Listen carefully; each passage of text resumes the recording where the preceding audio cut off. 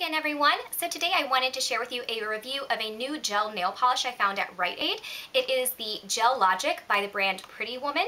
I don't know if you've seen this, but I saw it for the first time in one of my Rite Aid stores. And this is a gel polish that doesn't need a UV light, so that is awesome.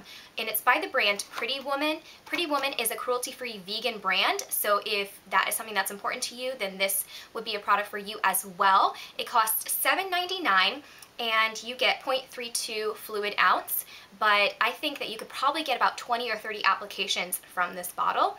I know where I live, a gel manicure costs about $30, so for $7.99 for about 20 applications is a really good deal.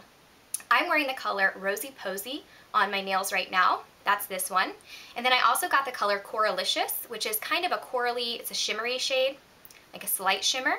And then I got another color that I'm going to be doing uh, giving away to one of you guys. I'm not going to do that in this video, it'll be in a separate video, but keep on the lookout for that. But I think this is amazing, it goes on really well. I've had this on since Monday and on my toes and it doesn't chip so far it hasn't chipped. Um, I did do a little trick that I've seen them do at the salons where I put on two coats of this polish and then I let it dry and then I took some rubbing alcohol and I sprayed down my nails and let it dry and then I put on the top coat and that will keep from any little fuzzes getting in underneath the top coat so it looks nice and smooth.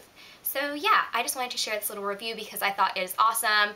Uh, I love gel nail polish but have to use a UV or go to the salon and pay a lot of money, it's kind of inconvenient. So if I can do it at home in like 15 minutes, that is a winner in my book. So yeah, so definitely check out Rite Aid for this. And I think there were some other colors too, like a silver color, a green color, and I think there was a red color, but it was missing. I think someone had already bought it. So yeah, that's my little review on the Pretty Woman Gelogic Nail Polish. I hope you enjoyed this review. Leave me any comments or questions down below. And of course, I'll leave links of other places you can find me like Instagram, Twitter, my blog, and all of that.